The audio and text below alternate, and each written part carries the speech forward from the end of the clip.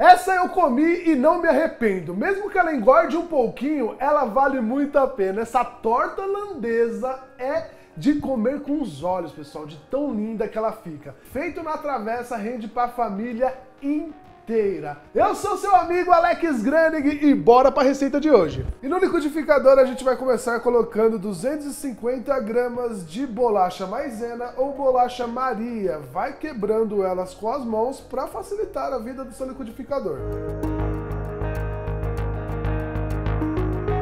Após virar farelo, você vai passando para uma vasilha. Faço isso com todas as bolachas. Junte 4 colheres de sopa de manteiga. Com a ajuda de uma colher, nós vamos mexer aqui até começar a ganhar uma consistência. Misturou um pouquinho, você já pode começar a mexer com as mãos, fica mais fácil. Claro, as mãos devidamente higienizadas.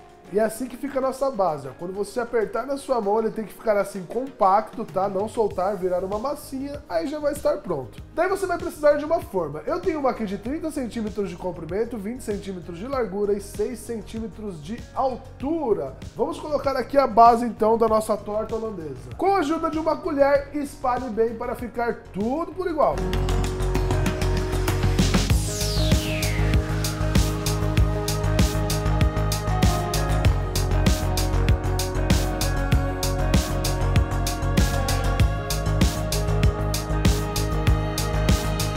Agora é o seguinte, você vai precisar de biscoitos Calypso e essa parte de chocolate você vai colocar voltada para fora para ficar bem bonito. Coloque em pezinho uma do lado da outra, afundando um pouquinho na nossa base.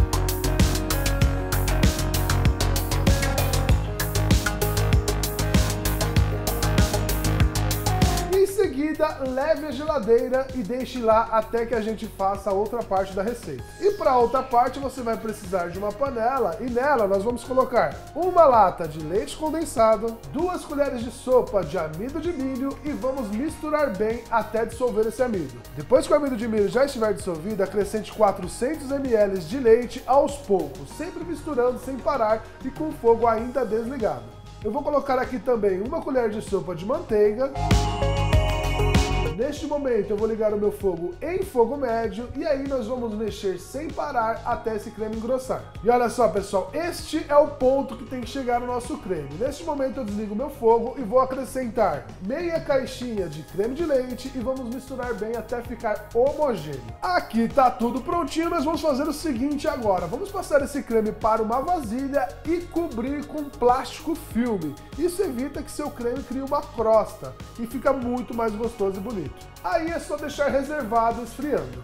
Agora, em uma batedeira, nós vamos colocar 200 ml de chantilly gelado e bater até dar o ponto de chantilly. Ah, se não tiver chantilly, você pode usar creme de leite também bem gelado, que ele também vai ficar bom. E olha só, pessoal, essa é a consistência que tem que chegar no nosso chantilly. Nós vamos agora misturar com o nosso creme branco. E você vai misturar delicadamente, sempre de baixo para cima, de baixo para cima, até ficar bem cremoso. Depois que ficou bem cremosinho, vamos jogar por cima cima da base da nossa torta e levar à geladeira, deixando lá por mais ou menos uns 40 minutos.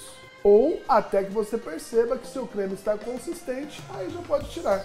Vamos precisar agora de chocolate. Aqui tem 200 gramas de chocolate ao leite, mas pode ser meio amargo se assim você preferir. Junte uma caixinha de creme de leite, vamos misturar um pouquinho e derreter no micro-ondas de 30 em 30 segundos ou no seu fogão em banho-maria. E olha só como que tá São Paulo hoje, pessoal. Muito bonito, tem que tá lindo, dá vontade de ficar aqui olhando e namorando essa cidade maravilhosa.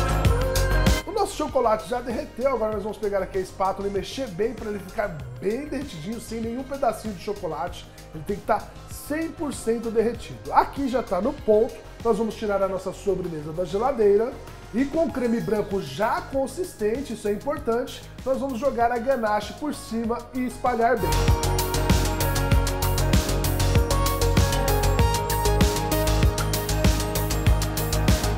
Pode usar uma colher para espalhar, uma espátula, o que você preferir. Ah, posso pedir uma coisa para vocês? Aproveita e já curte esse vídeo aqui que é muito importante. Você ajuda muito na divulgação da receita, ajuda com que essa receita chegue para mais pessoas e, claro, também ajuda com que eu continue com vídeos diários para vocês. Então conto com a ajuda de todos, hein? E aí é só levar a geladeira novamente por mais ou menos uns 30 minutos para o nosso chocolate dar uma leve endurecida.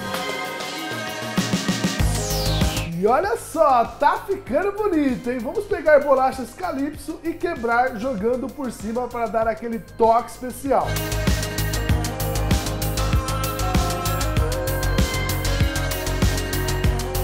E olha só, pessoal, que fantástico essa receita linda, maravilhosa, uma ótima opção para o Natal, para o Ano Novo, para todas as festinhas, para qualquer ocasião, porque essa receita é simplesmente incrível.